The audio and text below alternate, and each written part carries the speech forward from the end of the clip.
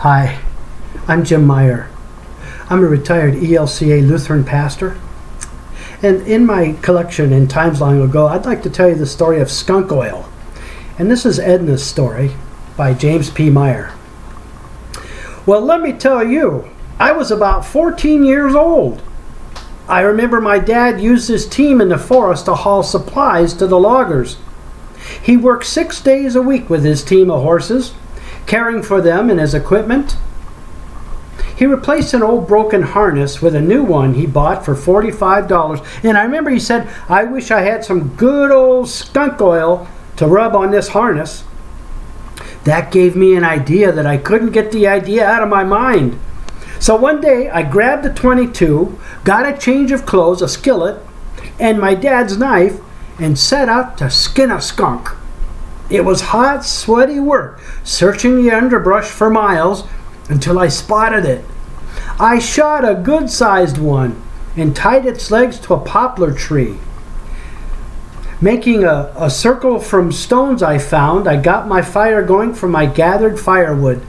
Skinning the skunk, I cut off all the fat and put that into the frying pan on the fire. I cut the, cut the rest of the skunk down and threw it into the woods for the other skunks to eat. They're cannibals, you know.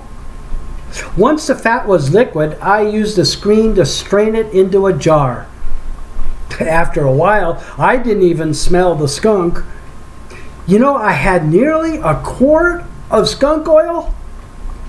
The swimming hole was down a ways, so I headed there. I had brought some soap to scrub with and grabbed sand from the bottom and scrubbed all over. I burned my old smelly clothes and put on my change of clothes. I headed home triumphantly with that jar of skunk oil.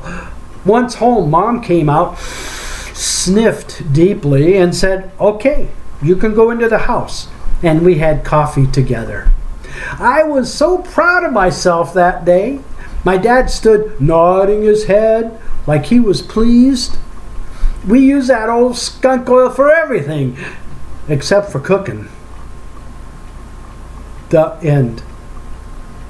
I wonder.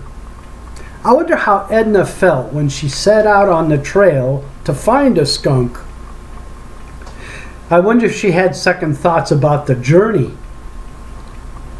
I wonder in her if her heart raced when she spotted the skunk. I wonder if as she told this story with confidence, if at the time she was just as confident about her quest. I wonder if you've ever had a singleness of mind to do a difficult task that wasn't an everyday task. I wonder what Ma expected when she saw Edna coming home. I wonder how Dad felt when she produced the skunk oil. I wonder what is in the spray of a can of furniture polish or what is in saddle soap. I wonder if you've ever used skunk oil for anything.